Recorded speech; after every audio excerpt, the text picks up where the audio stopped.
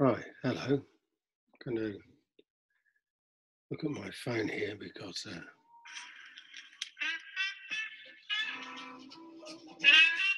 a little tune. This is Louis Armstrong's version. So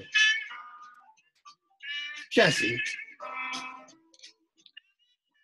This is where the music's from, okay? This is the light switch to work. So perhaps you need some disco lights or cabaret lights. This is another light. Switch it on.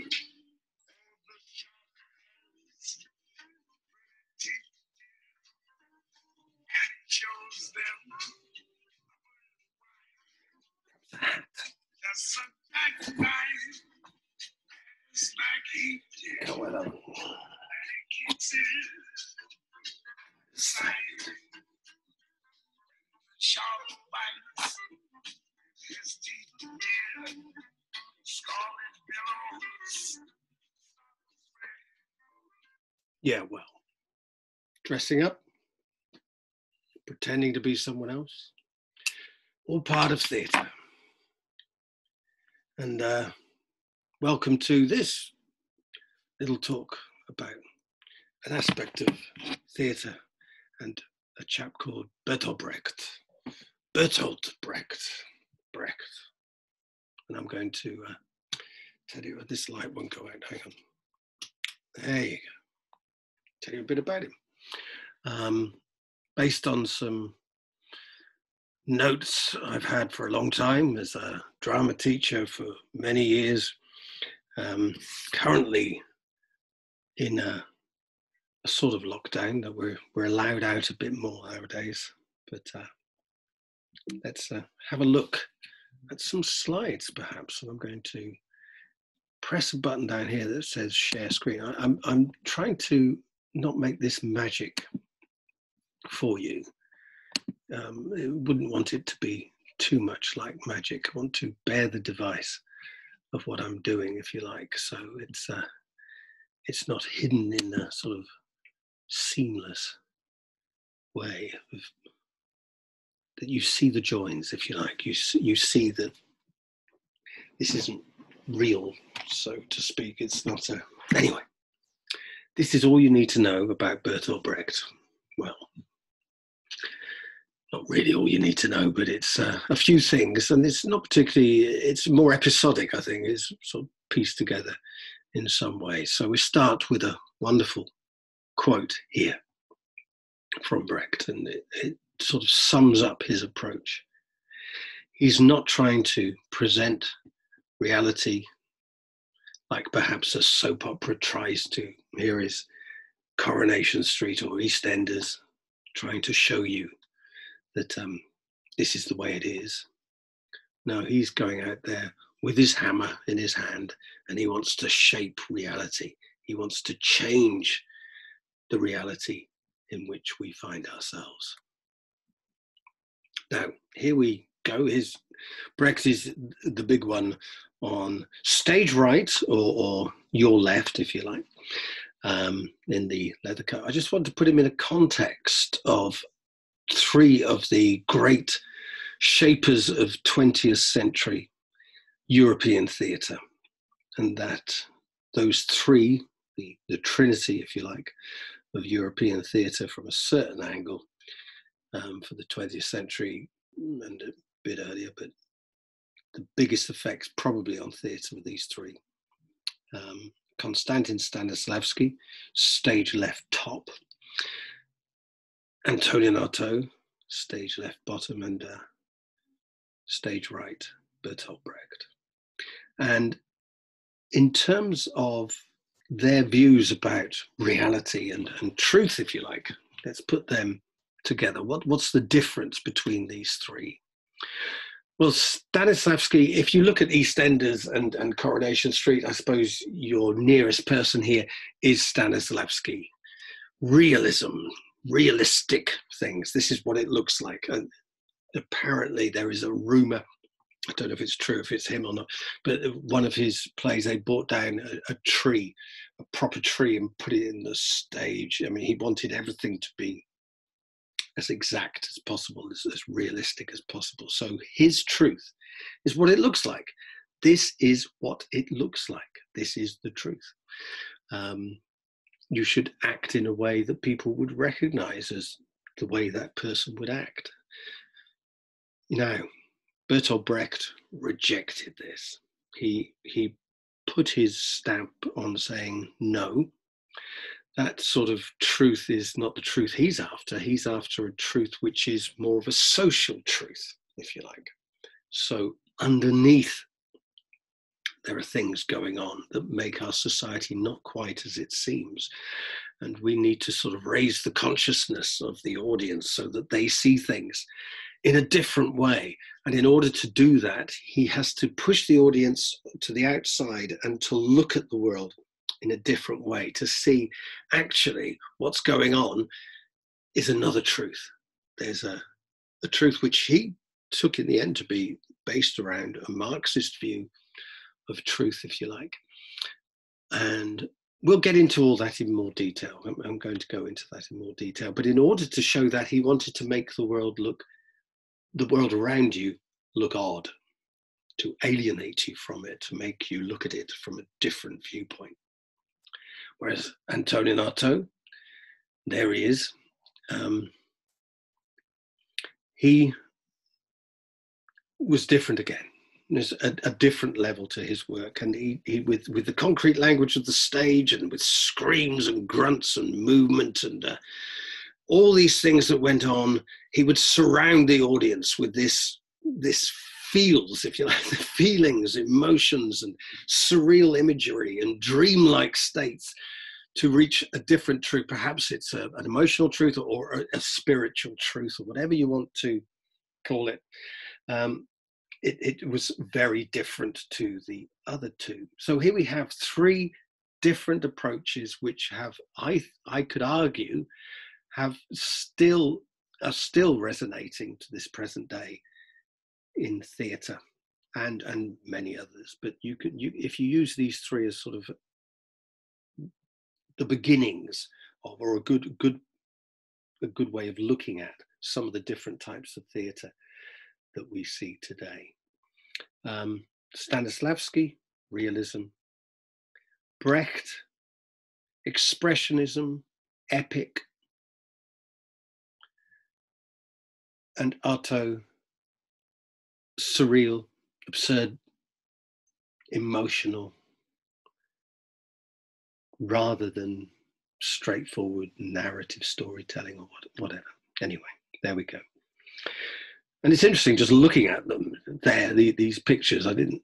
The, the, the one is actually in a film there, but my God, what what intense eyes! This is before he was uh, treated for certain degrees of madness uh, um, and, and given electric electroconvulsive therapy. I think 51 times he received that. So so he he looked a lot different after that. I can I can assure you. But but you can see a certain sort of wide-eyed mania in his eyes there. Would you would you? But intense really intense, and I think that that's that's that's the thing about Artaud. He's wonderfully intense. Stanislavski, he's shrewd. He knows.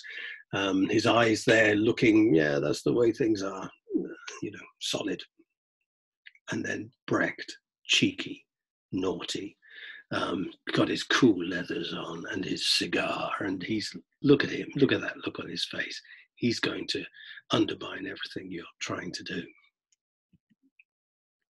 So there we go. He's against a naturalistic theatre. He, he doesn't like it to look like that. He thinks that people who go to that type of theatre, they go and they hang up their brains with their hats in the cloakroom.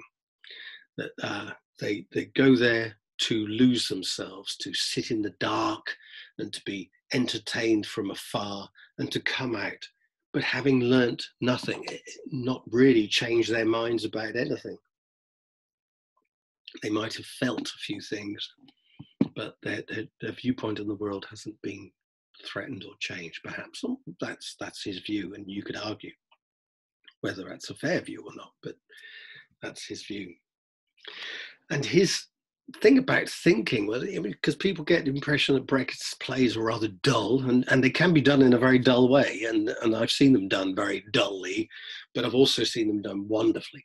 Um, but thinking for Brecht is a great pleasure, and from this play Galileo, you know, he would a play about a scientist, a great scientist, and a controversial scientist, and you know, especially in, in the time that he was alive. Um, but thinking for Brecht is what he wants. He wants you to go to his plays and think, go to the theatre and think. And it was a theatre fit for the scientific age. And what, what do we mean by scientific age? Well, an age of observation, of looking at things and trying to find the truth behind them. And and for him, his his scientific approach is a Marxist approach. So it's a social science of, of sorts, but he wants observation, learning. This is the way things are. Look at it from here, look at it from here, look at it from here. Right, what conclusions can you reach about what we see? So the theatre fit for the scientific age sums up his entire idea. And, and that needs, of course, that we are no longer in some sort of religious age. We, we are in a scientific age. We are an age which doesn't take things on surface value. We want to dig underneath them and find out what's really going on. And that's his idea of science, but also that we live in a scientific age, in that people were looking for scientific ways to solve the problems of the world. And, and one of the problems of the world is poverty and, and capitalism. And, and, and this is for Brecht. Okay, I'm not saying this is my view. This is for Brecht. And, and therefore, the scientific age, right, we're going to move the, labor- the laboratory, I can hardly say that, the laboratory onto the stage and show you the laboratory and who who are we testing up here? Who are we prodding and looking at? Humankind. We're putting them on the stage and we're looking at us, you know, but from an, an objective or a more objective viewpoint. And that's what he's going to try and do, is use very te- various techniques to move us into, rather than being involved with the everyday emotions of the piece, he wants us to sit outside and look more like a scientist might look at something. This field of writing here is worth looking at. Althusser is, is a, a, a Marxist philosopher, I suppose. Um, here he is writing about what I've just talked about.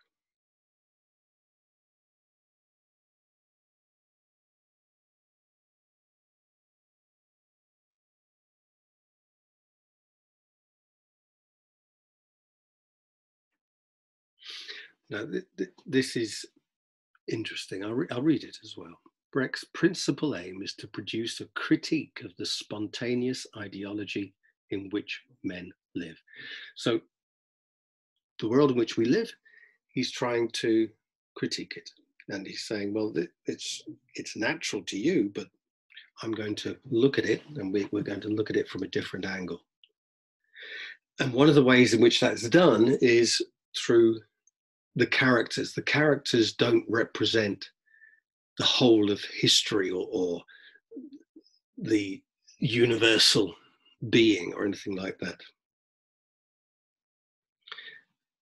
Except every now and then they'll come down and and take themselves out of character. So literally, so I'm going to put back on uh, uh, some glasses here. So let's say I'm acting, um, I don't know who this character is. It could be somebody uh, like this, and then I'll come down. He doesn't know what he's talking about, you know. And another thing, yeah, I, I'm, I go down there, I draw the lessons, reflecting on it as one of the spectators. We have done our best. Now it's up to you. Now he's going to play lots of tricks, and I'm going to go through all the tricks he does for this type of thing.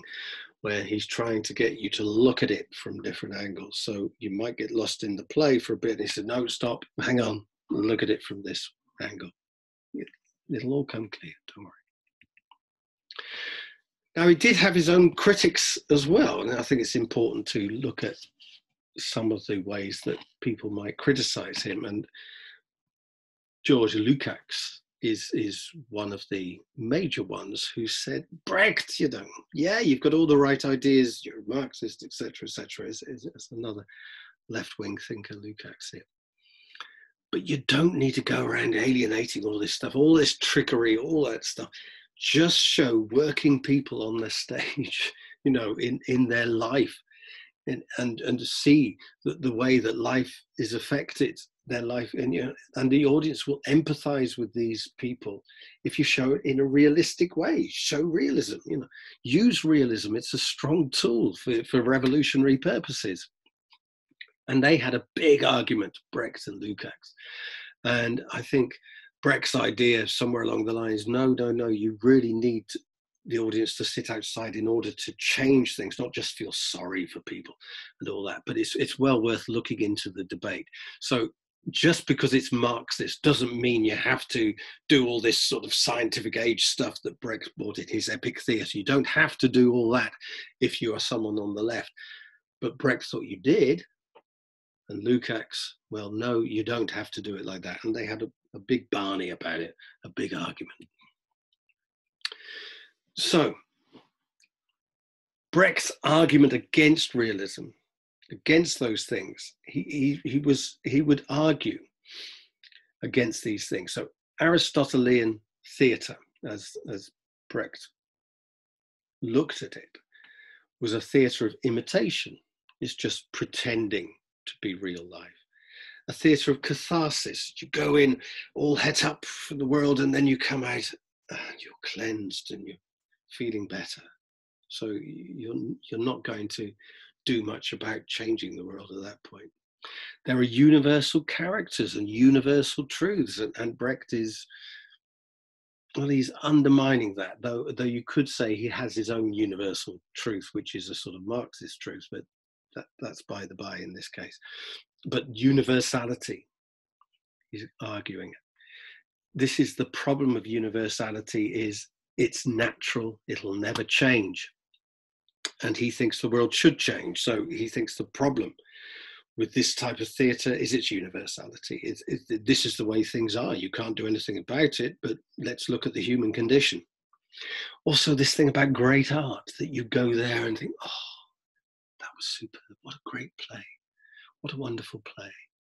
Um, all those things. He, he, he's, he's very suspicious of that. And uh, he doesn't want you to go to oh great he wants you to laugh and get involved and shout and be be angered by it and but not be overcome by the uniqueness of this great work. You know it's it should be on a level it's it's more folk art for him not great art. Um, and and this appreciation of the perfect imitation of reality. I don't know if you've ever been to a perhaps a west end theatre play where the the set changes and it's it's wonderfully realistic and amazing and, and people go wow. And they applaud the set now he, he would be totally angry at, at that type of thing. He didn't want you to applaud the reality of the set. Or, or, it looks so realistic doesn't it? You know oh it's so good. Yes she looked so much like an old woman. You know the, the makeup was extraordinary. He doesn't want the perfect imitation of reality. Again he's undermining this whole idea. And here we are, the empathy. I weep when they weep. He doesn't want the spectators, and notice the word spectators, you know, the audience, being helpless victims of, of this empathy that they, they can't do anything. They just, oh, it was so, I, I cried, I cried. Did you cry? I cried. And all that going on. He doesn't want that at all. In fact, if you're laughing when they're crying and crying when they're laughing, perhaps that's something he might like. I don't know. But um, he's not saying you shouldn't feel emotions, in other words, but he he doesn't want you to become a victim of that emotion. He always wants you to be able to step back and look at yourself. Why am I acting like this? Why am I feeling this? And, and those that step is so important to him. So this is the classic um, piece of Brecht's writing where, where he puts dramatic theatre, the sort of Stanislavski and the Aristotelian theatre, in one column, and epic theatre, his theatre, what he thinks theatre should be like, in the other. And it's worth just having a look at that for a sec.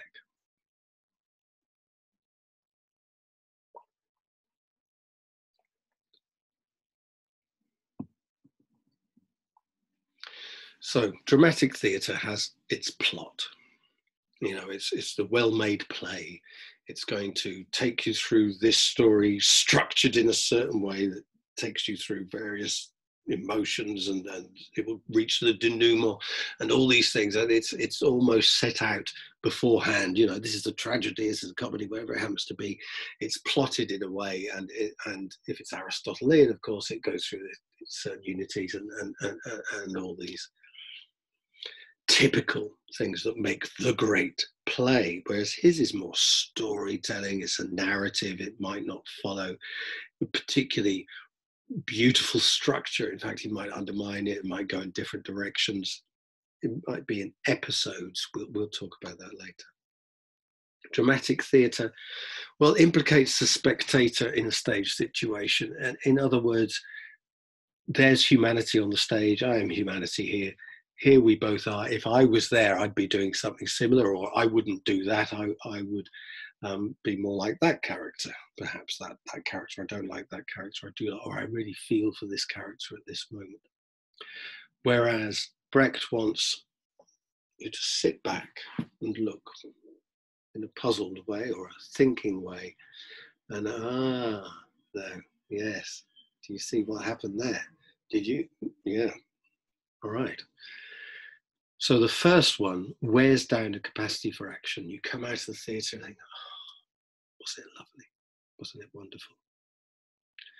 Whereas you come out of a piece of Brechtian theatre, as far as he's concerned, you should be, right, let's arm ourselves and put ourselves on the barricades and uh, bring down the system. Whereas the first type of theatre provides you with sensations, feelings, all those sorts of things. The second type, the epic theatre, makes you make decisions. Right, I'm going to do this now, and I'm going to go out there and um, we're going to change the world. Dramatic theatre provides experiences, feelings in that way. Whereas epic theatre pushes you away from being in the midst of experience and gives you a picture of the whole world in front of you and you're looking at it and aware that you're looking at a picture of the world. It's, it's a snapshot of it. You're looking at it in such a way and you're outside of it. The spectator is involved in something. You're involved in the story. Oh, I found it. I was so involved in that story. I really was. I was really, really involved in it. Whereas now I see the way the system is. Now I can understand it. Suggestion, it it doesn't tell you things. It just seeps out, and you you have to you feel it, and perhaps you discuss it afterwards, but but it's not telling you stuff. Whereas whereas epic theatre will give you argument. There's this and there's this, and the argument might be on the stage between two or more characters, or within one character arguing with herself. Instinctive feelings are preserved I go in feeling this, I come out feeling this. I feel this, or I might feel slightly different. I mean, Lukács would argue this, you see, this is the Lukács point. But instinctive feelings are preserved, and therefore you don't want to change things. Whereas Brecht, you're brought to the point of recognition. So you're going, going like this, and then, oh my goodness, Eureka! It's it's moments where the science suddenly comes clear to you. Ah, that's the way it is. So, the spectator in the thick of it, sharing the experience. I, am involved in it. I, I can't find my way. It's lovely. It's beautiful. I'm crying. I'm laughing, and all whatever it is.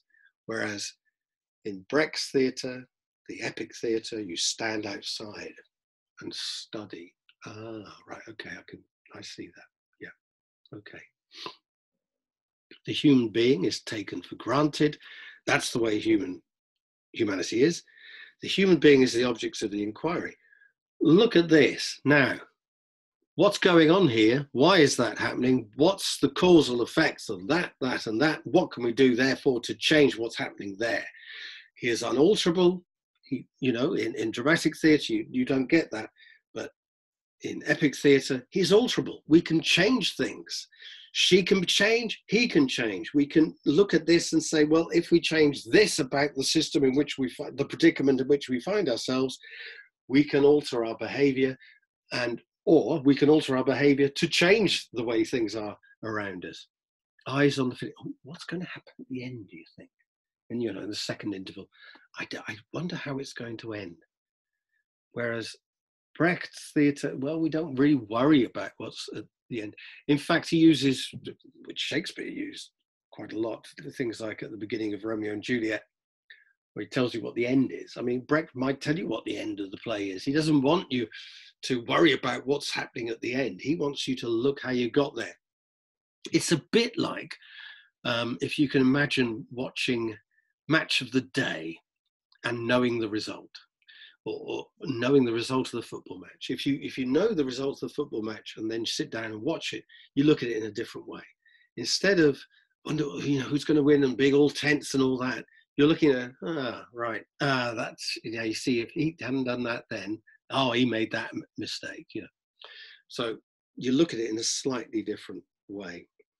Um, one scene makes another, so it, it moves seamlessly from one scene to another, and you need that scene there, and each scene there, and each scene there. For for Brecht, each scene for itself. You, I was going to say you could do them in a slightly different order, and you could, but but that takes away something from from Brecht's theatre. But but there are some plays which are more episodic than others. There are some plays which are completely uh, like Fear and Misery, the Third Reich, or something where the scenes could be more easily moved around. Um, but but certainly this idea that each scene is for itself, it's a, it has its own entirety.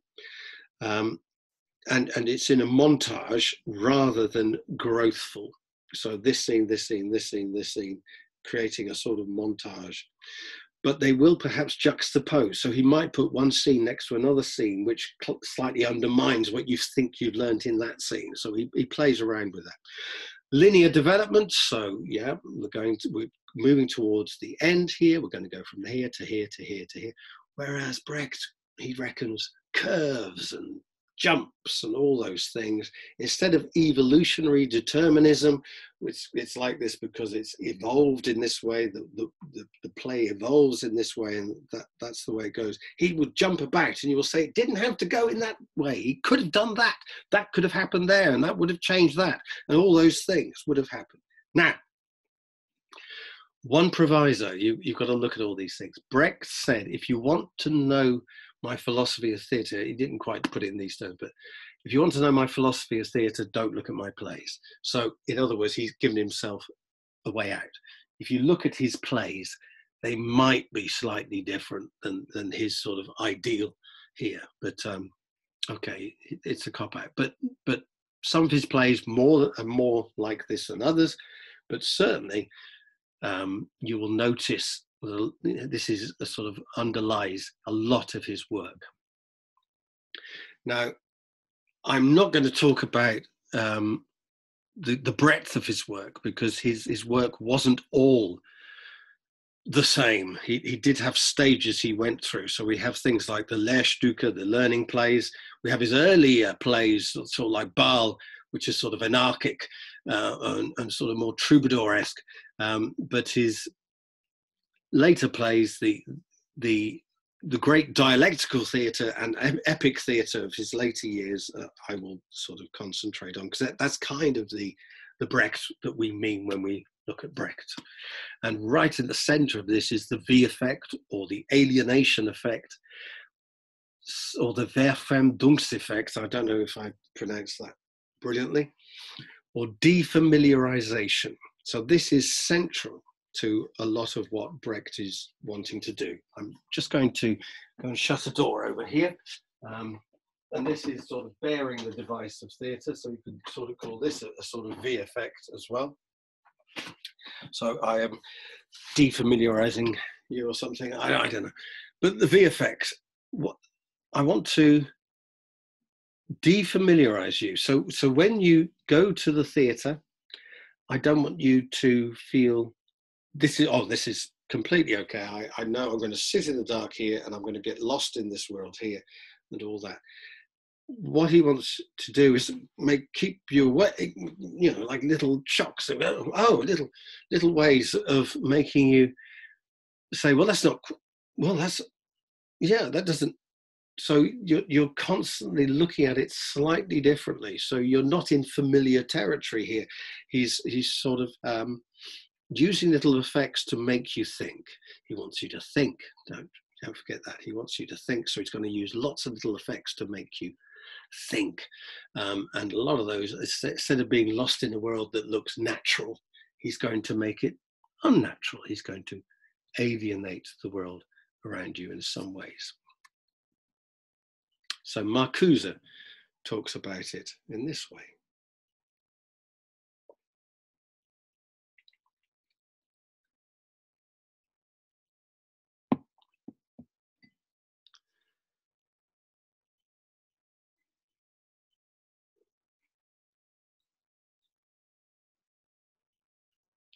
So here we go distance and reflection, not empathy and feeling. That doesn't mean that you can't have feeling, and, and I will later on talk about some moments where I think is extraordinary feeling at moments in, in some of Brecht's plays, and perhaps that's him breaking his own rules. Don't look at my plays to to understand my theories, um, but the dissociation okay in order to see the world as it truly is remember there's this sort of pursuit of truth with stanislavski artaud with brecht but different truths um, but i want you to look at it as it really is and there's there's you know a, a real world going on here that where workers are exploited by bosses and and all that. Um, so he he wants to show that somehow. So the world that you see on the stage usually is behind an ideological material veil. Yeah it's it's um we're not looking at it as though there's anything we can change about the world or is there anything odd about the world. So in order to break that to make you look at things differently we really have to stop your identification with what's going on on stage. You don't get lost here. We're going to trip you up to real, to know what the real is. We have to trip you up. To, we have to make the world you thought was real look unreal in order for you to see what really is there. So some of the ways, some of the ways he'd do this is, well, here's it. I'll start with the acting bit because this is quite interesting. So if if I'm doing a Stanislavski play. Okay.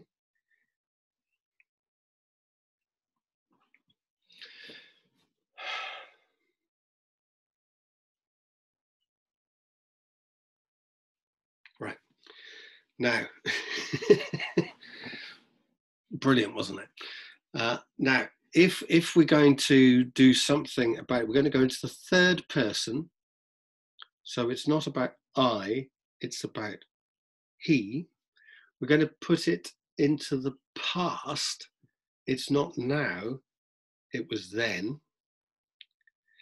And we're going to speak the stage directions out loud. Now, that, that's a rehearsal technique. So you don't have to do that in every play, but it, but it gives you the actor a way of thinking about it. So it so he wants his actors to go through the process of putting things in other ways. But the, the, transposition to the third person. So, first of all, he sighed. So, there I've done it. Right? I have presented you with he. I have talked the stage directions out loud, stage direction, in this case, side, very small one. Um, and it's in the past. So it's not I sigh or it's all those three things. So by putting it into the past tense is, is crucial. He sighed. yeah, I'm presenting you there with my hair going everywhere. I, am giving you a third person on the past, stage directions, all those things. I'm also addressing the audience as both the actor and the character. Yeah. He sighed. Yeah. You, you, now you're not confused there, are you? Was I one person or am I two people? You're, you're looking at the actor and the character at the same time. He sighed. yeah, well, it's amazing acting. I'm acting as two people. I'm acting as myself, the actor. So three, three things, perhaps. Three things. There's me, but uh, there's the actor and the character. Yeah. So there, he sighed. Yeah, you can see, you can hear me saying he sighed about someone who's well. This is purging the stage of anything magical. I'm showing you right. I'm showing you putting on the character. Right. Here's the character. Right. Yeah. Okay, and he's sighing. Oh no, no, he's not sighing. He sighed. now, part of this was the, the, the rather amusing thing of the the half curtain. Now, if you go to traditional, very traditional theatre now is hardly anywhere in theatre is traditional theatre, but but the theatre where the curtain would come down and you would see um, well you wouldn't see anything. You would just see the curtain. So at this point behind the stage curtain there's magic going on. They're changing the scenery around and you you can hear some clunking going on. So, and then it comes back and it's a different scene. Oh, and, and all those things there. Now he didn't like that at all. So he had what he call a half curtain. So halfway down the stage on a sort of it's more like a more like a curtain rail that go f- for half the stage ready. And so you could see things being moved behind there and, and stage hands coming on and off and, and, and things like that. He's baring the device of theatre. In other words, don't get fooled. This is real life. This is theatre. Um, and we're not hiding behind that. So it's quite a quaint now, I think we could call it, because we don't even bother with that now. You don't need that at all. You can just have stage hands coming off stage. Anyway, making visible the sources of light. I've already showed you this here. You can see my roof, my window there into the world there. Where the, this, these are the lights. We don't want to hide them behind anything. We're saying this is theatre. This is the way it looks. Don't get fooled about it being real life. Using signs at the start of scenes. We're saying scene one, um, in which blah blah blah happens, or something like that. In which Mac, Macheath gets his comeuppance or something like that. You, you would have some sort of explanation of what's going on, maybe a contradiction or, or, or something there, or, or some learning point that he wants you to get there. But all these things are trying to make it non-real. Not so it's non-realistic, but it's also making you think. It's also making you sit outside a bit and go, hmm, placards in the middle of shows. So I could come in, this bloke doesn't know what he's talking about as a placard or something like that. Or, or I could present in such a way um, something that's just happened in the scene and, and sort of present an alternative view on it, etc., etc. So I couldn't undermine myself or make you think in different ways by placards coming on or contradictory placards coming on or, or, or whatever actors putting their costume and makeup on stage. It's not real. Here we are. So you've seen me sort of transform myself. I will now transform myself in another way. So here I am, and I'm going to put that on. All right, there's that. Yeah. Okay. Yeah. Yeah. All right. Yeah. Okay. And now, yeah. And another thing, you, you see me doing that in some way. I'm not going off stage, changing, coming back, and you might think I'm someone else. You actually see me changing. So, again, this is Verfremdungseffekt, but it's, it's, it's alienating you, but, and it's showing, it's baring the device of theatre. It's showing the workings of theatre. Actors coming out of character, I've already done that quite a bit already. he sighed. Yeah, he sighed. Yeah, uh, yeah he's he's a chancer though. He's trying to uh, fool you into thinking he's tired. Uh, yeah, songs commenting on the action. So I might um, do something on stage in some way, and then a song instead of coming out of the characters as they do in musical theatre. There's a bright golden haze on the meadow. His characters come in and and and sing, perhaps offering complete. Do you know the? I can't remember. Where's gregarious Solomon? You know what came of him? A song which has hardly anything to do with it, the actual action on the stage, and it's not carrying the action forward. It might be offering a completely different viewpoint of something, or it might be um, undermining something that's going on, juxtaposing a different idea. Um, it might be showing you ways into um, the the breadth of that character, or putting Mac the Knife next to.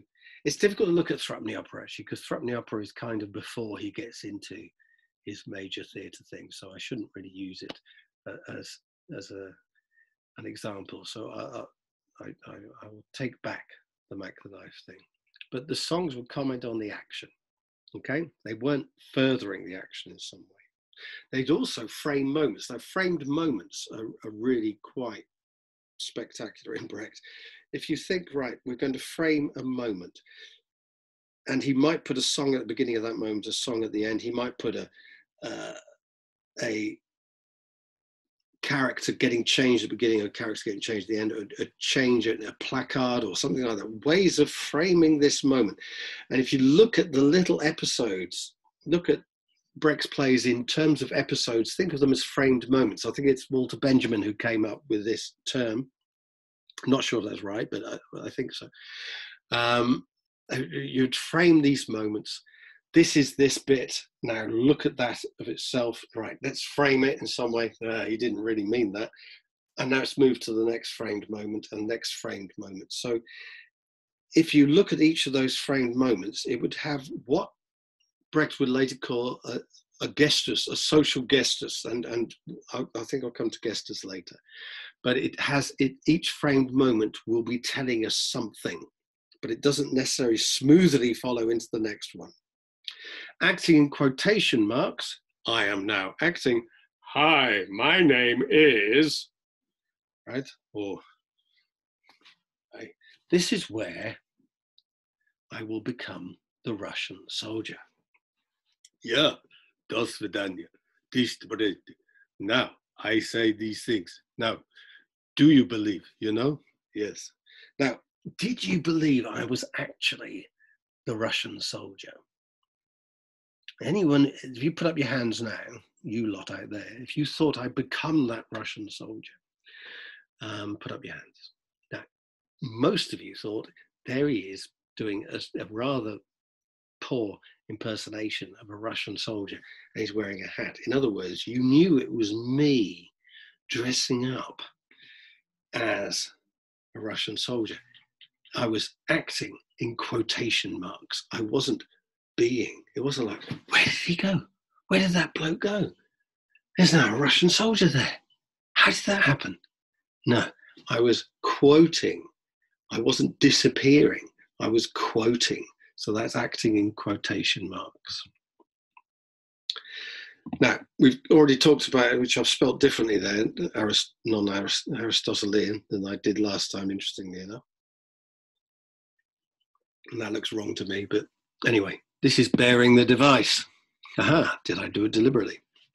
Brecht referred to his theatre as epic, dialectical, and or non-Aristotelian. Now, the dialectical point is, is, is quite important with this, but if you want to call it though, any of those three things, you can, but there, there generally is, he, he called it epic. So it starts off with this, this rejection of Aristotelian theatre we looked at. Then he sort of calls it epic theatre, and that, that columns, those two columns we looked at, his epic theatre. But his later plays, he stopped really referring to epic theatre and he started to call them dialectical theatre. And, and that, that's kind of a movement amongst some of his works, if you like. We move from epic to dialectical, and dialectics become his major way in. And this is Raymond Williams, who's a bit of a scholar, who was a bit of a scholar on Brecht, talking about how Marxism affected his work.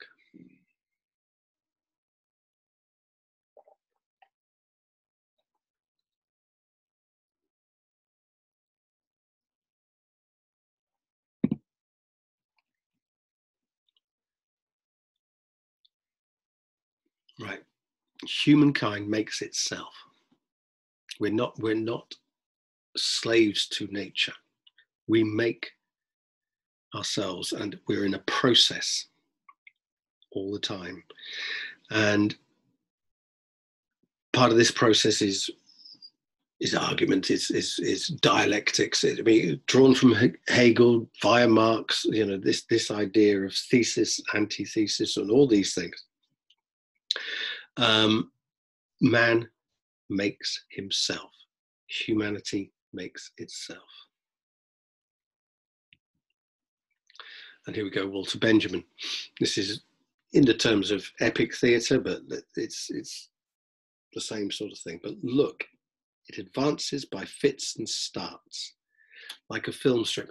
Now, there there is this is part of the scientific theories of Brecht, of course, is he wants it to be more like film, the theatre. Instead of taking on film and trying to do something completely different, he's taking on, well, film can fast edit and do all these things, and he's quite into all that. But but read what Walter Benjamin, a, a Marxist philosopher, writing about Brecht at the time. This is contemporary to Brecht.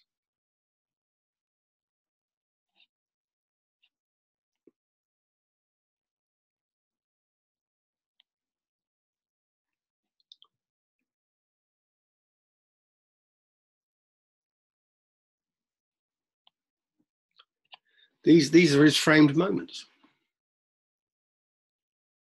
The separation of each situation, creating distance, stopping you being involved in illusion, distances to make you adopt a critical attitude, to make you think. So, to show that man is in charge, that we are making our own world around us, that we can therefore change the world around us, this is the way of doing it. Um, we're going to do move and fits, starts, and we're going to uh, take it apart and look at it like a scientist would, you know, down, oh, what about that? Ah, but look at this. Ah, but look at this. So we're, we're adopting a critical attitude. We're going to think. Walter Benjamin again here.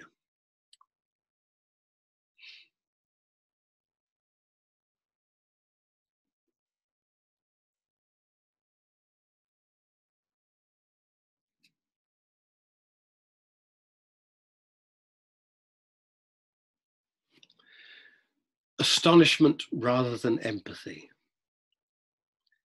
Don't identify with the hero. Instead, be astonished with the circumstances in which the hero has to live. Okay, I'm interested in this relaxed interest, and we'll, we'll come to that. So astonished at the circumstances.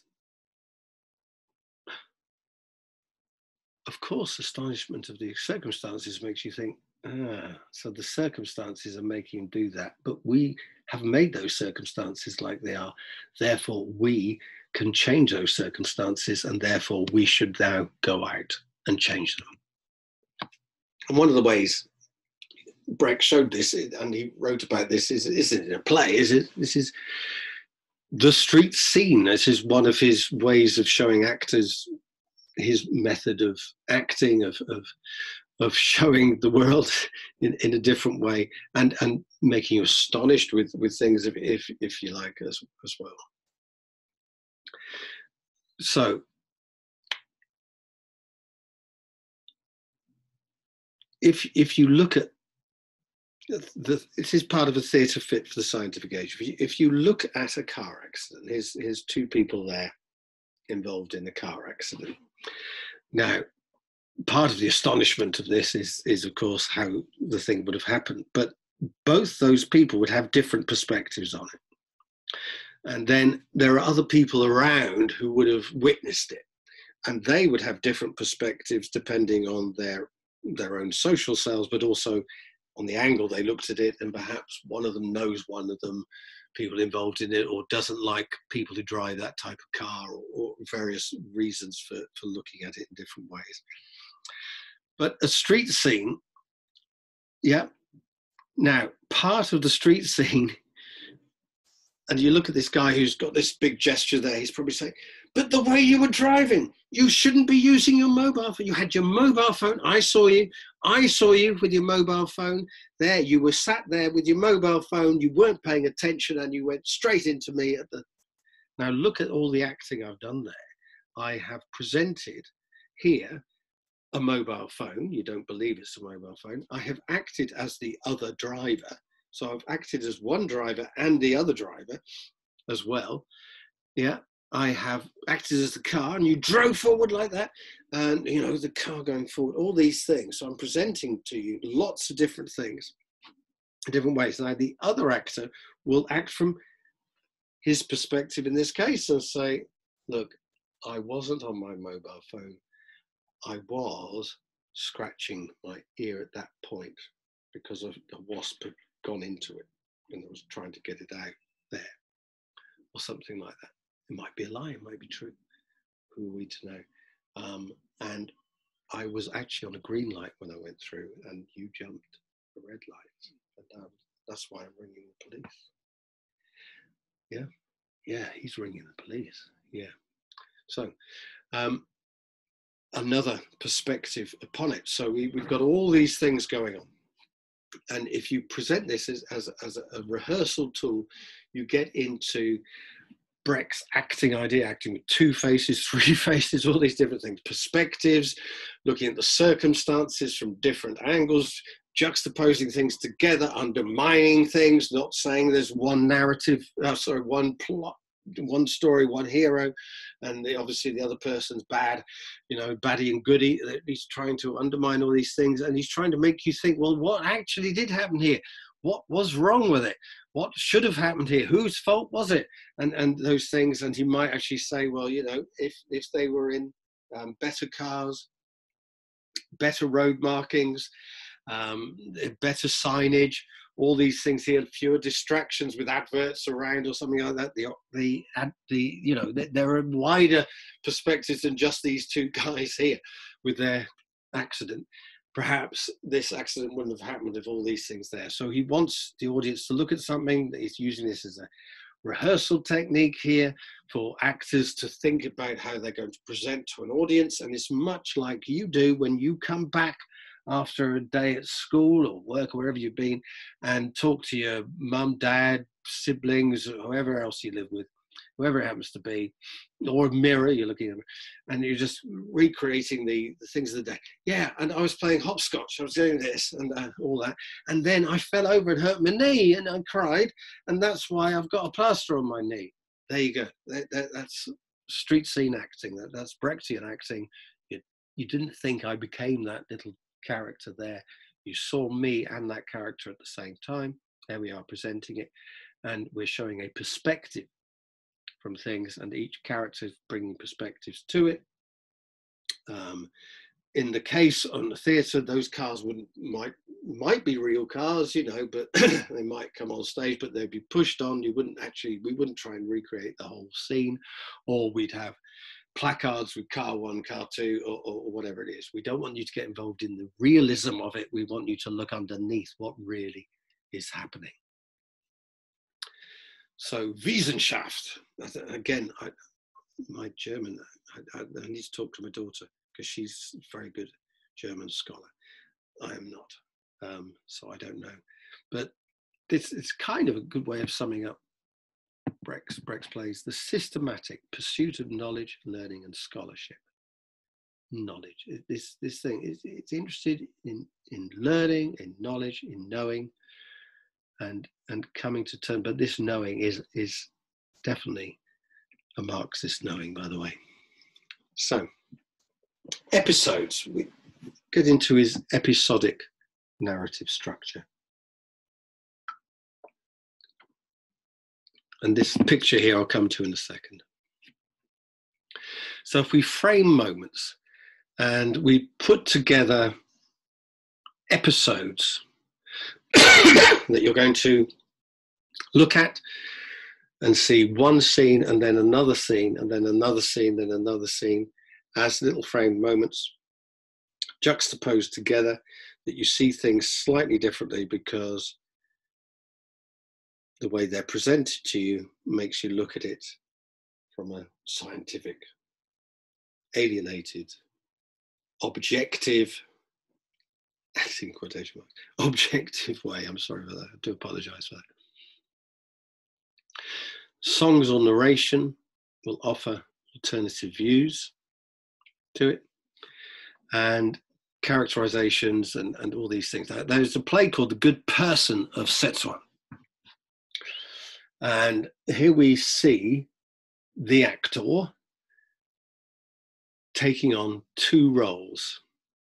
Now, the actor is taking on two roles, but also the character, Shen Te and Shui Ta, the two characters are actually one character.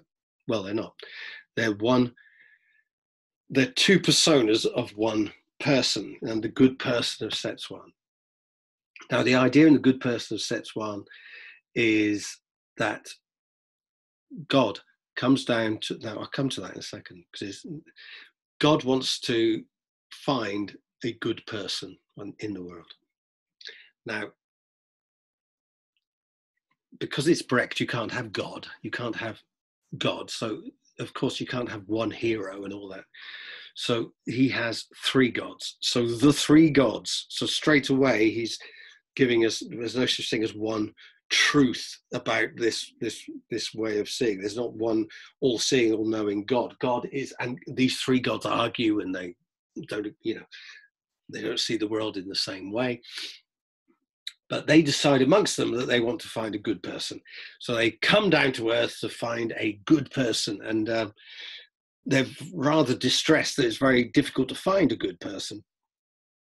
And um, everyone says well go and see Shen Te, and um, I think it's Shen Te, isn't it? It's. And and they go to see her, and they they find her, and she's losing money, and and it's all going wrong in her life.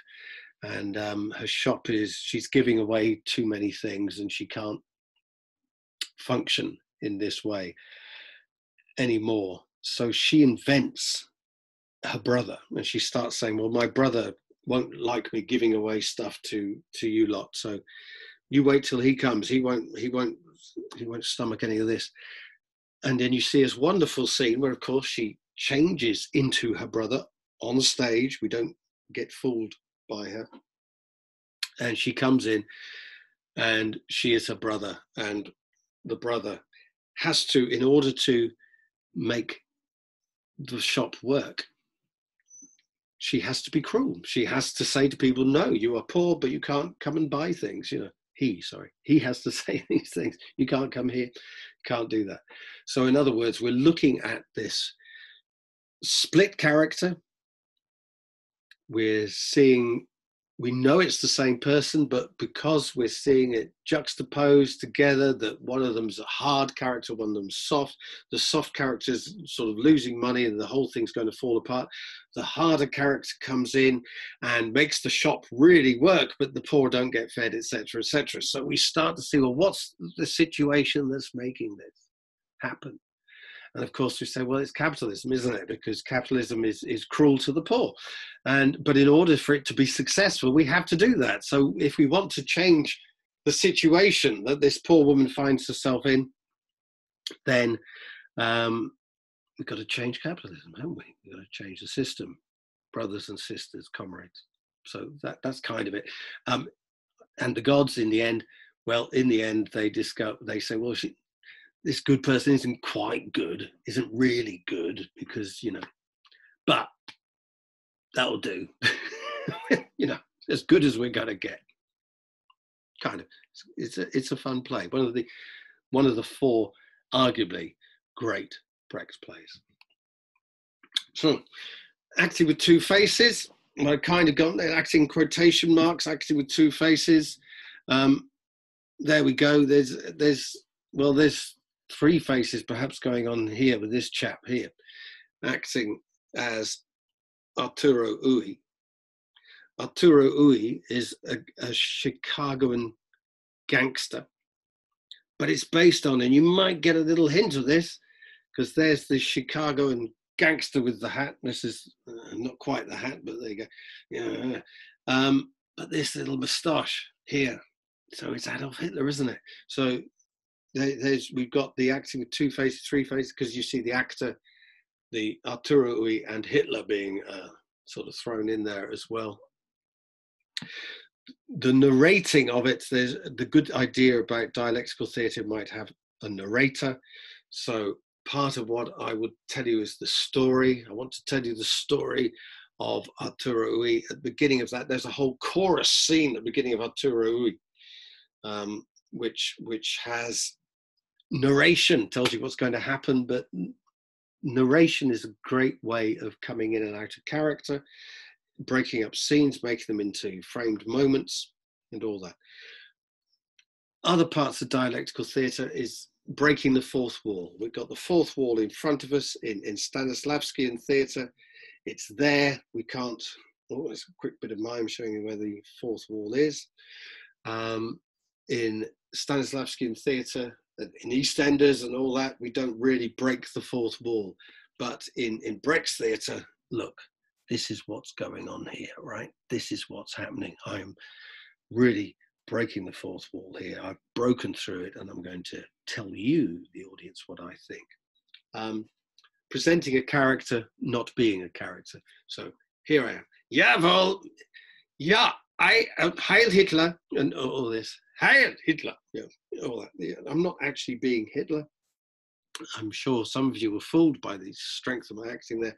I'm just presenting a character. I'm not being the character. So it's a major difference when you see EastEnders, the actors are pretending to be in character. They, they, they want to be in character. So that's a sort of Stanislavskian, I'm going to be in character. Brecht's characters no, they're not going to be in character, they're just presenting, look at this character. Yeah. Yeah. And then the Russian soldier came into the room. Yeah, I came into the room. And sorry, here, here, yeah, yes. I, with my, I brush my beard because I am full of melancholy and, and all that. So acting, in other words, in quotation marks. There you go. I'm quoting the character. I'm not being the character. I'm breaking the fourth wall. Yeah, I came through and all that. I'm not being, I'm not fooling you in any way. See, Arturo Ui is Al Capone and Hitler and Arturo Ui. And, and just about every gangster movie, James Cagney or, or, or whatever at the time, it's all thrown into one. And, and Brecht's playing with all these different things to present the character to you. So it's complex seeing. Yeah, he's trying to show that it's quite complex. There, there, are different things, different ways of seeing. It's not just one viewpoint. There are lots of things here, and he used montage to pull those things together to see, well, here's this scene, here's this scene, here's this scene, here's this moment, this moment, this moment, and juxtaposing little things together.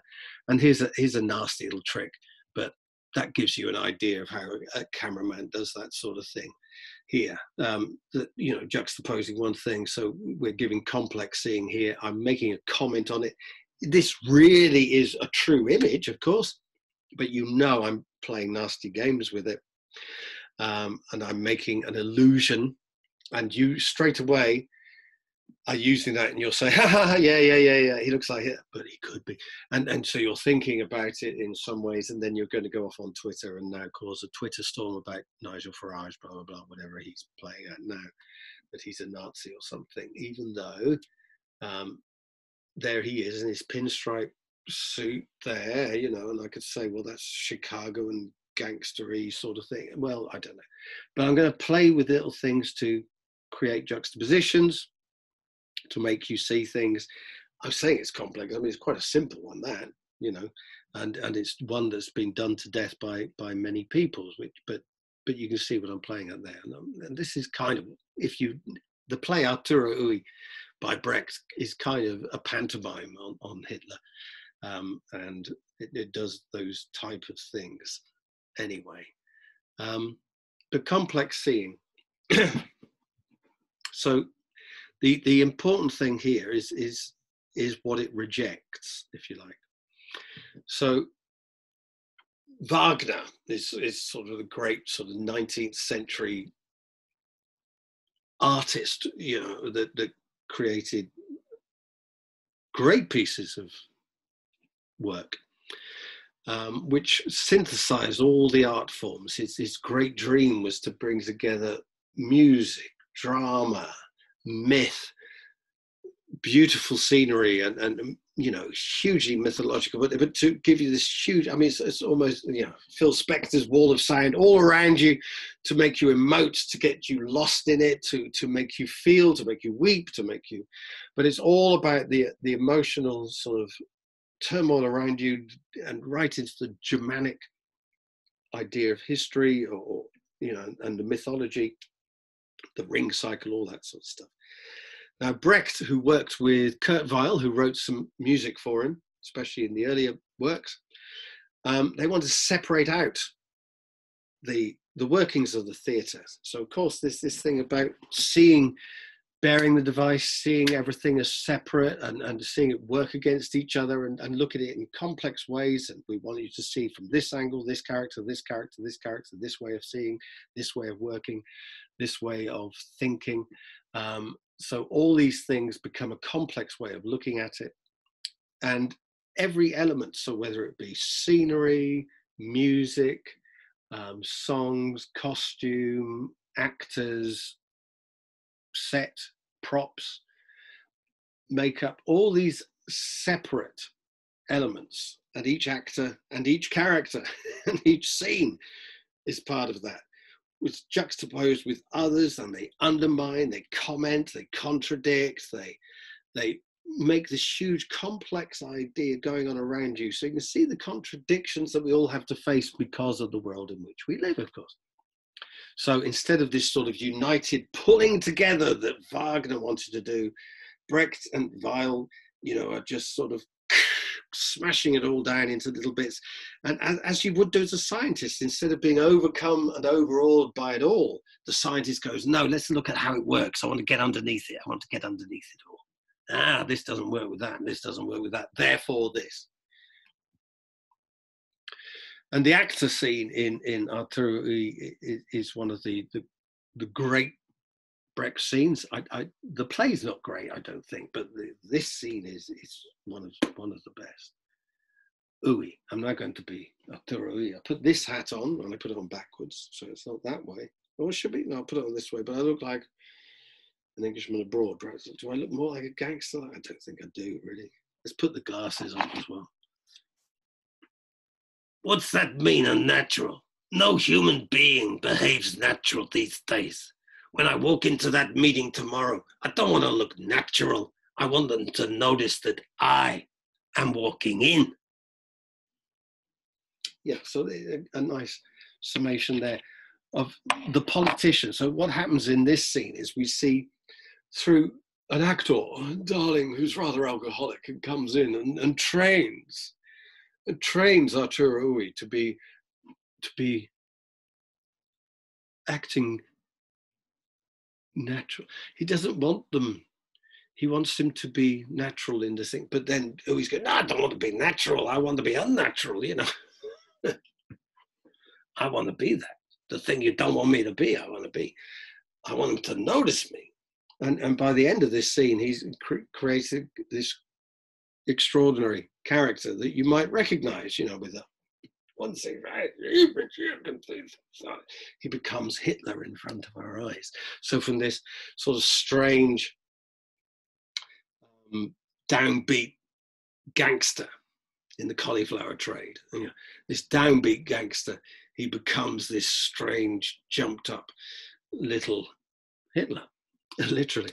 Um, and uh, it's a very funny scene, but it, it's, it shows putting the character on. It's a great one for a for a performer to take on this scene to to act the actor's craft, if you like, it, in a very Brechtian sense. We see the character emerge of the of the character we all recognize as Hitler, and, and the it becomes summed up there that Hitler's putting it on. So so like like politicians do. So you know, how does a politician change over time? So this is the other thing that you might do if you're doing complex seeing.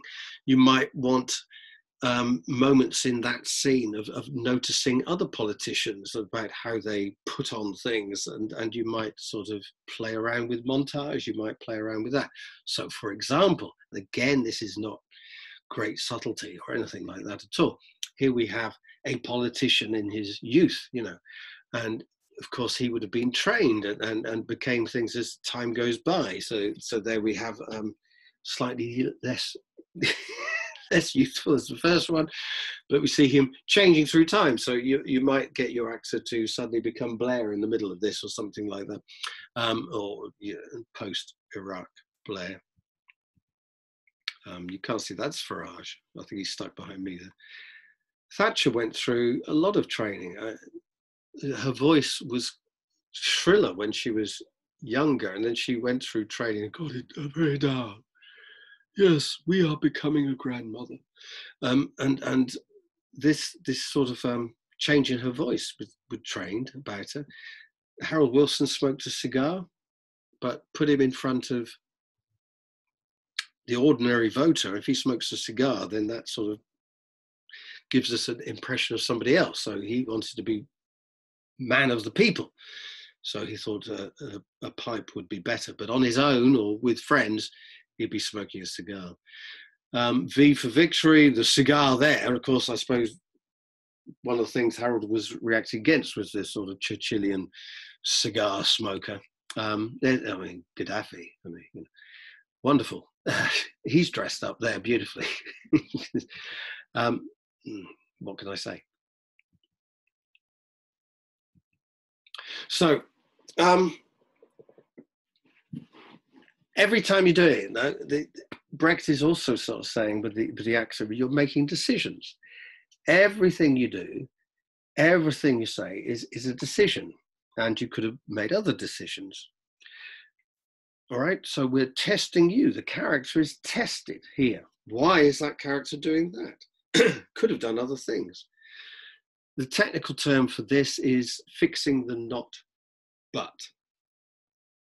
So I think he described this as a character. So in in a Stanislavski theatre, we see a character going down a corridor and going into a room. So corridor, opens door, room. Now a Brechtian actor has to look at that corridor, look at all the potential doors, show that they're not going through those doors, but they are going through this door right? I'm not going to go there. So, ah, to show you could have done other things. I could have done this, but I did this. In, in the life of Galileo, we see the new Pope in his underwear. He debates the use of torture threats to force Galileo to renounce his Copernican ideas, and the Pope dons layers of vestments.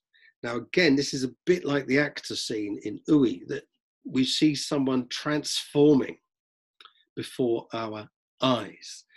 Here is the actor playing the Pope, playing the Pope with his gear on. So there's there's the popish character without his clothes on, and he's just sort of ordinary man, if you like. Bung all this stuff on, and the power comes. And with the power, he assents to the threat of torture. Yes, we can now torture Galileo. So, in other words, oh, I don't know, I don't know, I don't know. Bungs this on, bungs this on, doomph. Right. Now, I kill you. Yes, I torture him. You see, you thought I'd become the Pope then, didn't you? But no, I was playing him in quotation marks. So, torture him. the not but. We see the Pope as man, showing what he could do. I could do this. I'm, I don't know what to do. I, should we torture him? Should we not? But as a man is not going to do. I, I can't make it. But yeah, yes, we must torture him. I love this. It's as bad as my Russian accent. It's probably worse than my Russian accent. He's my Italian. He's going to torture him, but only when he gets to the point of wearing all the gear. So we say, right, power corrupts. You know, should man have that much power? Um, in whose interest is that power being exercised? All these things. So, so Brecht all the way. There's another picture of Brecht. Um, the coherence this is i mean this is beautifully contradictory in itself the coherence of character is in fact shown by the ways in which its individual qualities contradict one another so the, the contradictions of character yeah the contradictions here that gives us the coherent character and it contradicts dictions around us are forced upon us by the way the world is. We have to do this. We have, I have to dress up as a man in order to make my shop work. You know, all those things. I have to dress up as this. I have to dress up as that. We have to, we can't live sort of completely honest and noble lives because the world around us is forcing us into horrible decisions that we have to make. And these decisions we have to make to survive you know, I, I, I might feel sorry for the beggar and I give this beggar 10 pounds. Oh, there's another beggar, five pounds, another beggar, one pound, another beggar, I haven't got another beggar, another beggar, get out of my way. Yeah, with all these things around us sort of conspire to make us act in different ways. Where, of course, you know, if if Brecht had his way, that, that, society would be perfect and therefore man could be perfect. That, that's kind of it. Uh, that's where I think things fall apart. And and there's interesting sort of insights into Brecht living in East Germany after the war, where he starts to look at the communist regime around him and, and start to think, well, perhaps this isn't great. But then he died. So we, we don't know quite where that would have gone. Um, here's here's a great character because I go back to this: the individual qualities contradict each other and, all that, but but this can be beautifully done, and this is why I, I don't think Brecht is a is is alien to emotion. Really, this is an extraordinary moment that usually brings me to tears. In, in Mother Courage, we have this character. Well, Mother Courage has sons and a daughter, and the daughter Catherine is mute, can't can't speak at all. Um, and so gestures and, and various other things. Now, there's a point in the play, and I'm not going to go through the the whole thing with you here, but but the the village where um, Catherine has, has some sort of loyalty to it for various reasons. The the army from the enemy and and what the enemy is and all that is is up for grabs in Mother Courage. And again, if you know the the script, the, the things change around her. of course, things change around her, and she has to work her own way within it. But forgetting all that, Catherine is wants it's it's at night and she wants to warn the villagers that the army are coming to kill rape pillage whatever they're going to do. The the enemy is coming. But the enemy is with her as well you see. So but she goes up into a tree and bangs a drum bang bang bang bang in order to wake up the villagers. Bang bang bang bang bang bang. So she is the mute. And she's making the greatest noise. There's there's the contradiction she can't communicate and yet she is communicating here in in such a powerful way as to wake up the villagers so they know something's going wrong. But and this is the not buts that comes with that. She goes up there and bangs a drum and all this but then one of the enemy soldiers says if you don't stop we're going to shoot you. Kill you, whatever. And instead of carrying on, she has to show, I am not going to do this, but I am going to do this. So she has to show the decision here. So she stops drumming. And she looks, looks to the, probably uh, as the actor here. You would look to the gun or, or whatever's going to, whatever the director has got here to kill you with. Looks to the gun, looks to the village or where we pretend the village is, or village this way or whatever, looks there, uh, and probably looks at us like, what would you do? And might come out of character there. Yeah, what is she going to do?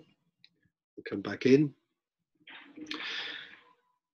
And so all that and then she drums even louder and more enthusiastic than before and is shot dead. And such a beautiful, I know it's tragic, such a beautiful moment. And, and it's sort of got so many of Brecht's things in something that's quite simple there. So it's an emotional scene, it resonates. We see her choice. And even if we feel we have no choice, we can still fight for change she still had no choice. You might say, but she had no choice. She was going to die. So she should, but that, in, in that sort of theatre, she would have not done it. In Brecht's theatre, of course, she's going to do it. She's going to sh- say, even in this most desperate of moments, I have a choice and I'm going to do the right thing.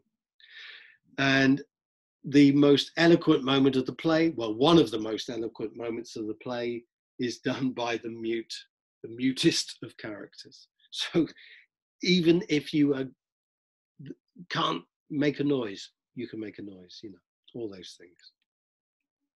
Another one is the oxymoronic idea. Brecht, Brecht loved oxymoronic formulations. He would put things together in, in sentences, you know, to, to make obvious contradictions in the sentence. So, but, but even his ex- explanation of this moment is the silent scream. So how can you have a scream that's silent? Well, you can't, can you? but the oxymoronic idea of it is is is pure Brecht, and here we see the actress here screaming,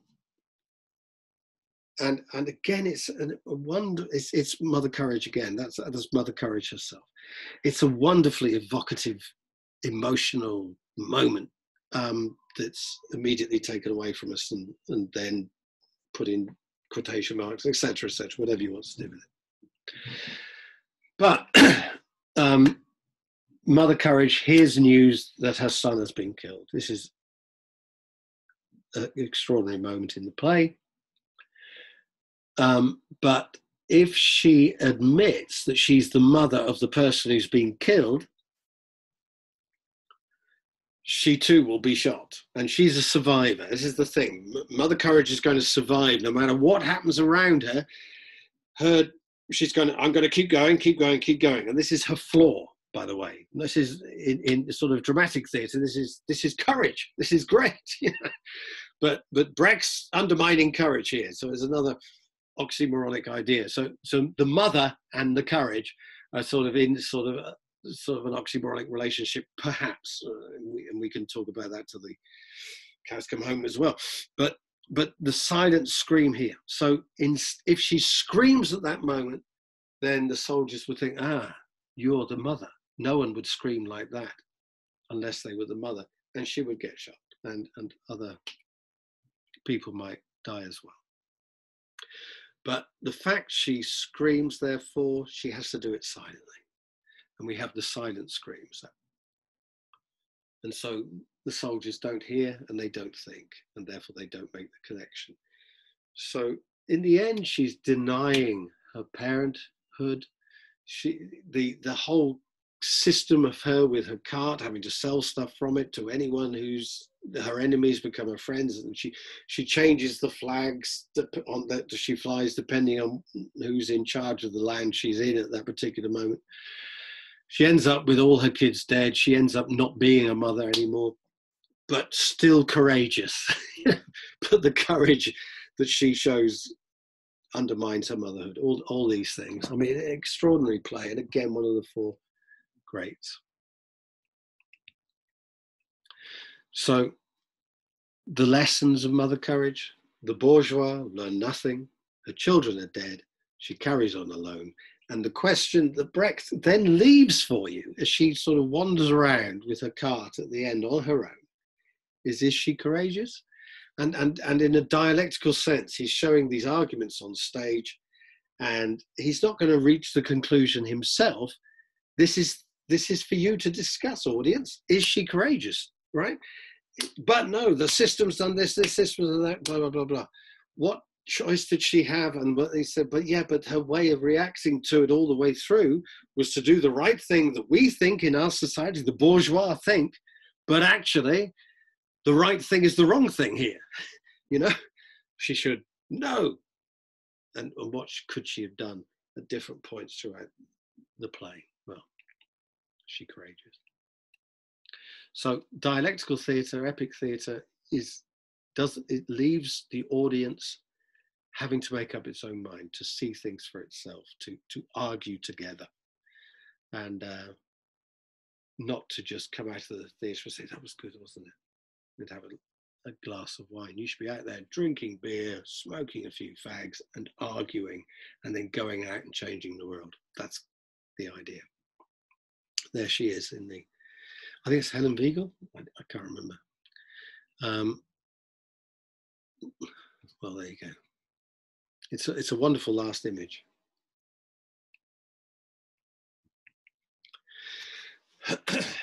Another one of his great plays, Caucasian Chalk Circle. I think it's probably my favorite play here.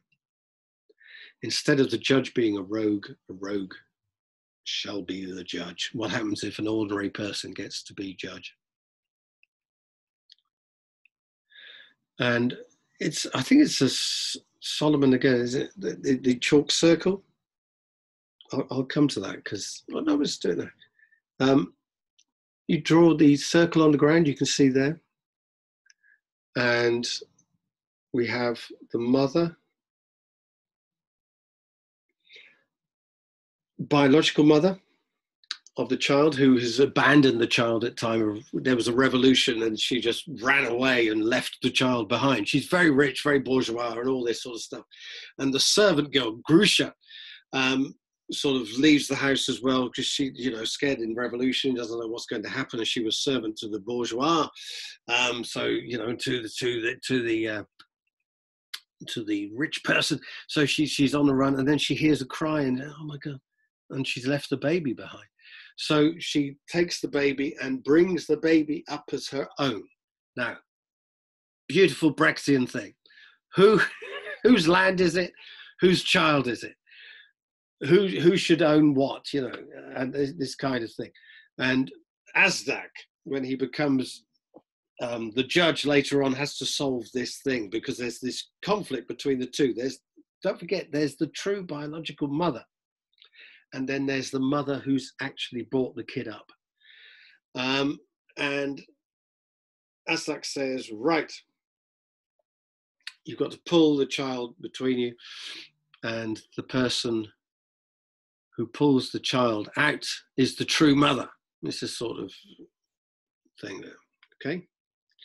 And so they get in the circle here, and they I think it happens three times. Once oh, pull, pull, pull, and the child's crying, and Grusha gives up. Oh no, you do it again, do it, uh, and you can play it as many times as you want. Um, but Azdak sees basically that Grusha gives up and doesn't.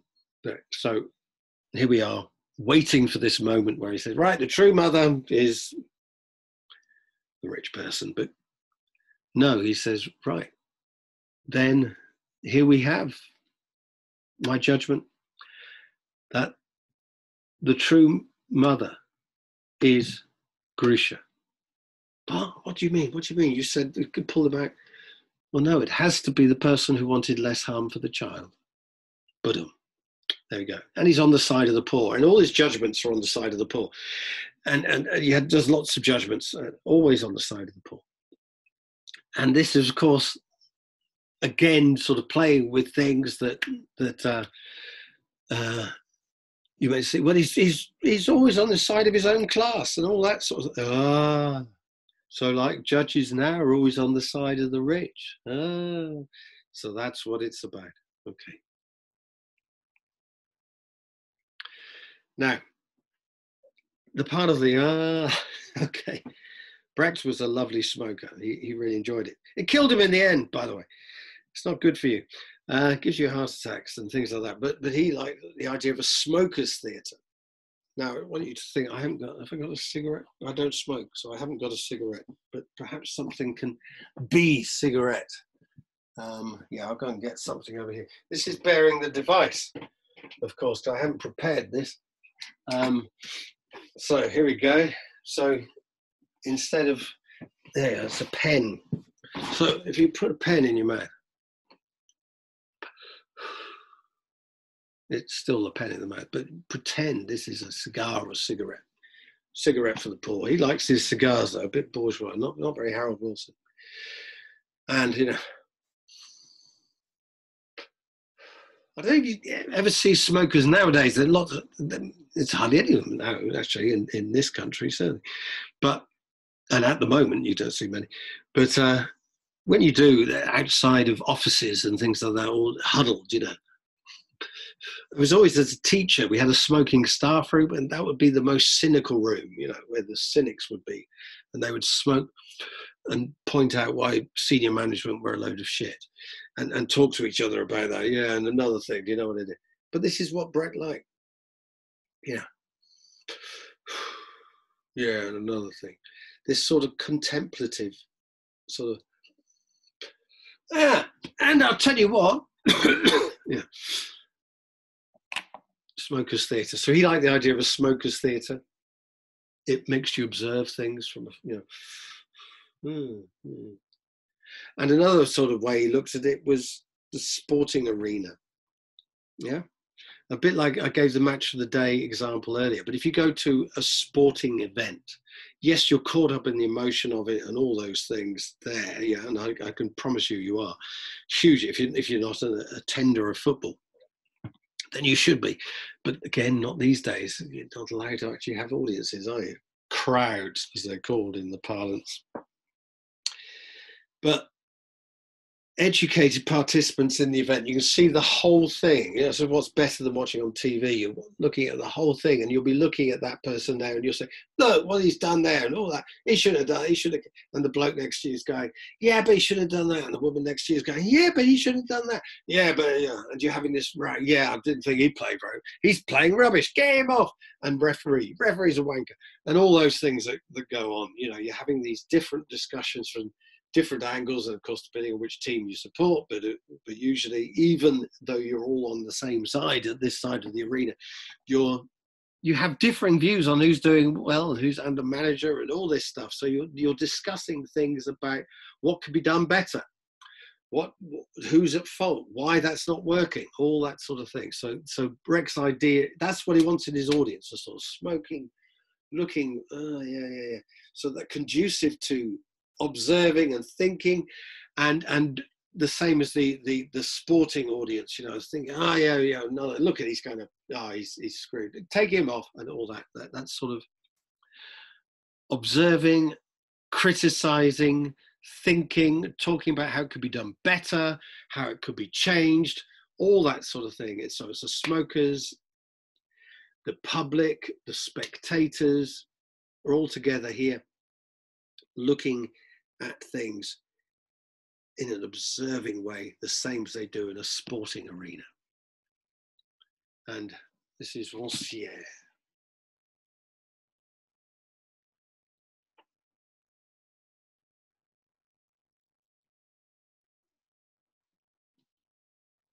Yep.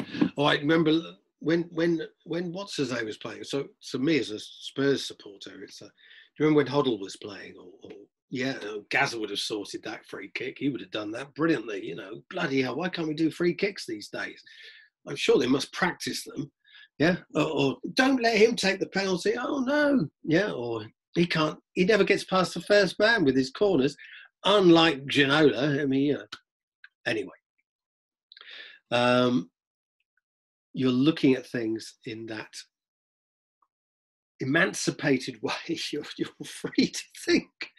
You observe, you compare things, you interpret things, you connecting things um, thinking back, you're, you're, doing all this. So, so, so, that's what's going on with the spectator in, in Brechtian theatre because you've got these gaps. Uh, you know, you, you're you're putting frame moments there, perhaps between each frame moment, like a boxing match. You can walk around. Which Mahagonny, which I talked about earlier, was take takes place in a boxing ring at, at points, but, but that's that's by the by. You can you can um, talk about it at those moments. Yeah, I would have done that. What's that song about?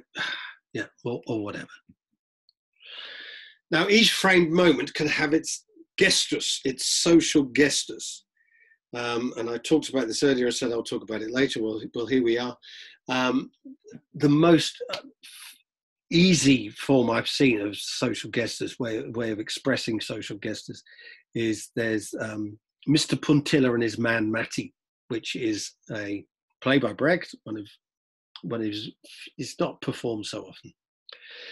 Um, but in that, the, the production I saw, um, his man Matti, who's his servant, chauffeur, and all those things, um, picks up. It, you know, there's a point where where Puntila has to move between somewhere and somewhere, and so Mr. Puntila is is hauled up onto the back of his man Matti, so given a piggyback by his man Matti, and there you go. That, that's that's a gestus, if you like, a, a small snippet, and he goes across the stage like that. So there we go. The servant is literally carrying the master. Um, it's it's an obvious one, but it's this social behaviour, yeah, that goes on in that scene. Now Brecht talks about how you should know what's going on if there was a glass wall and you couldn't hear anything. So just because you couldn't hear it, so theatre for the deaf, if you like, if you can't hear it, then you should still know what's going on. So you can still see the social relationships that are going on on stage, and and you'll understand it all. But there it is, there it is, pretty obvious what's happening. And this is a bit like um, something which he brought from Chaplin, and, and this is Brecht talking about Chaplin, that in a scene where I think I've got a picture of it, there it is, there's Chaplin eating a boot. Um, what what um, Brecht bought for that is because because what Chaplin does there is use proper table manners. He, he, he plays the bourgeois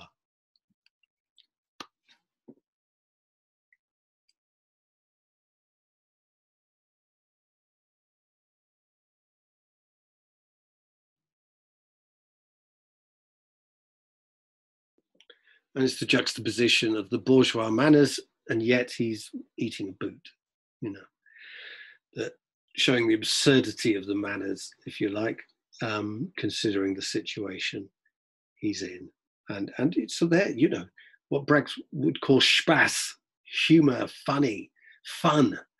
Um, you can make people laugh as well in absurd moments, of course. It's, it's a great moment.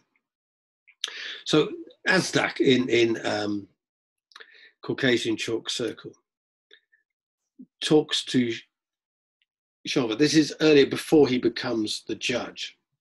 But here he is describing a scene which um, about why you you shouldn't eat like that. So he's got in front of him a, a rich man, the prince, I think, and he's saying, "Look, you shouldn't eat like that. If you eat like that, you're going to get killed by the revolutionaries. They're going to know that you are eating like a rich man." So here we go. We're going to change your gesture, yeah, to make it socially fit and and and this is this should be done in such a way that you be eating in a bourgeois way like chaplin with a boot but now we're going to make you eat in a poor man's way. So So Azdak teaches him how to eat, how to change his gestures in this scene. So this becomes a social gestus, a beautiful moment of how the poor eat. So Azdak talking here. You surprised I didn't hand you over? It goes against the grain. Finish your cheese, but eat it like a poor man, or else they'll still catch you. Do I even have to tell you how a poor man behaves? The box is the table.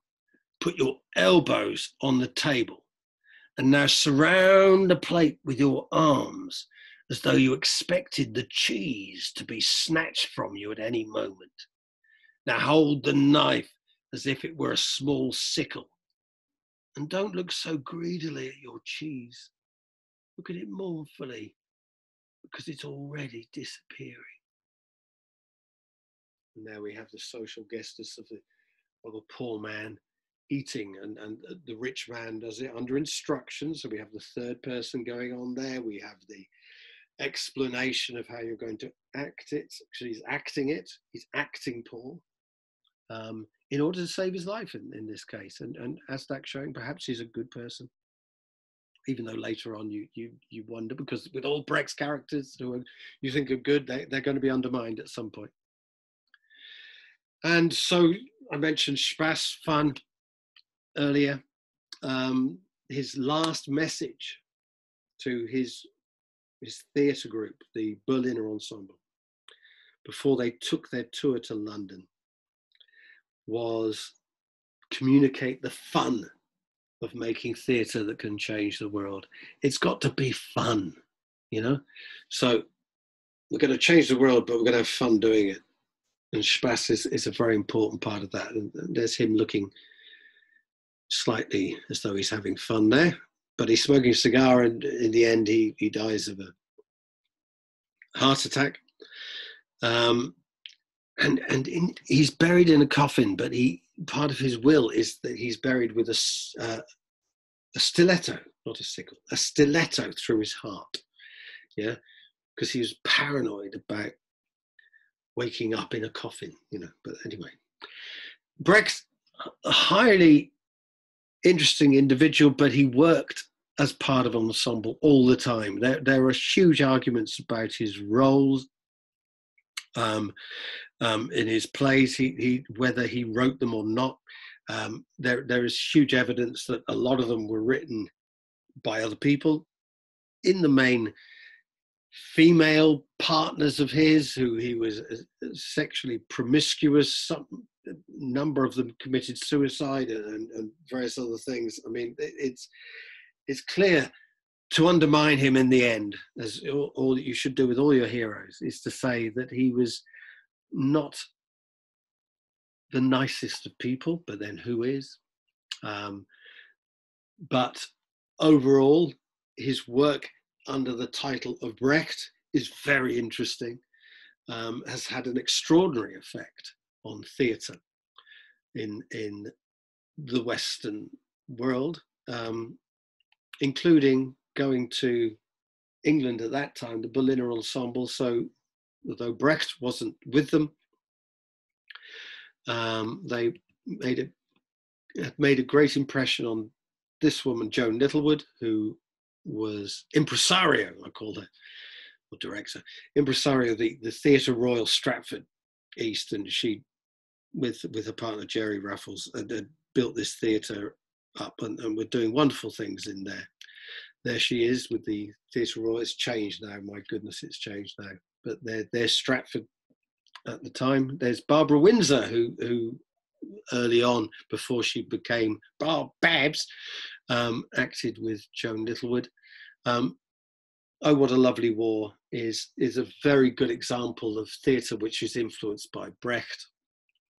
Um, to me, Brechtian theatre has to be political. It has to have um, a message in it which is from the left generally.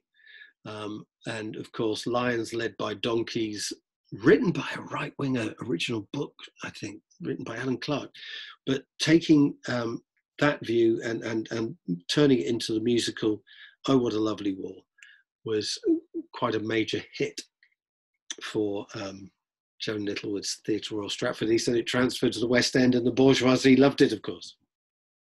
But Pierrots, clowns, slowly getting dressed as soldiers as as you get through it. You, you all the juxtapositions, the playing with imagery, all all those sorts of things uh, come to mind as as uh, as you watch um, the the the wonderful production. And, and it's it, there's a film of it which isn't so great as as seeing it in the theatre. Of course, never. Uh, certainly for this type of theatre, which which has to be experienced at you know the end of the pier or cabaret lights and all this sort of stuff coming to the fore. Um, the songs of the, the, folk music of the time and uh, uh, and all that. But um, with with the audience around you, talking about it and, and making decisions about what could have avoided this, you know.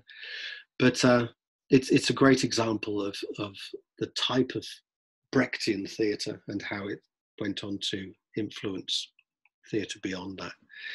And I think uh, another example is Pina Bausch's work, which I think is quite extraordinary. It's a dance, ostensibly dance, but it's dance theatre, if you like, and, and takes the the episodic nature, the the dressing up as characters to to a further extreme. And I think there's a lot of perhaps earlier Brecht within it, um, but but to a further extreme. I mean, it, it, it it plays with a lot of things that Brecht plays with, with montage, with episodes, with with gesture, with um, breaking the fourth wall, with with coming in and out of character, all, all those sorts of things.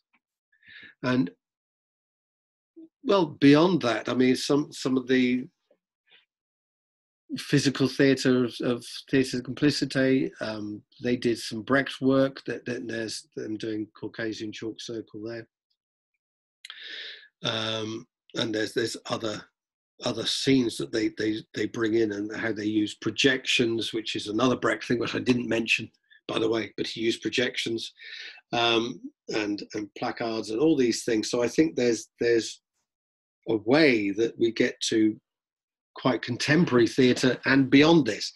But what I must emphasize, as far as I'm concerned, which is most important, is you don't look at theatre that uses a few placards, projections, breaks the fourth wall, and call it Brechtian. It isn't.